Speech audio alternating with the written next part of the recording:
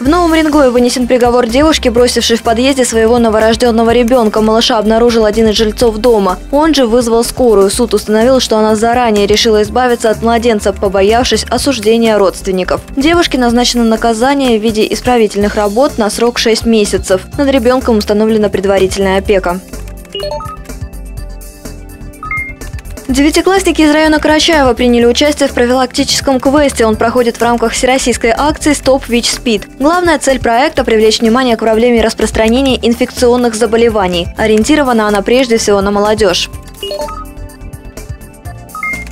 В газовой столице пройдет городской фестиваль Лиги КВН. 23 апреля на сцене Центра молодежной выступят шесть ямальских команд. Свои номера представят участники из Нового Уренгоя, Губкинского, Надыма, Таркасале и поселков Тазовский и Уренгой. Начало в 6 часов вечера. Вход свободный.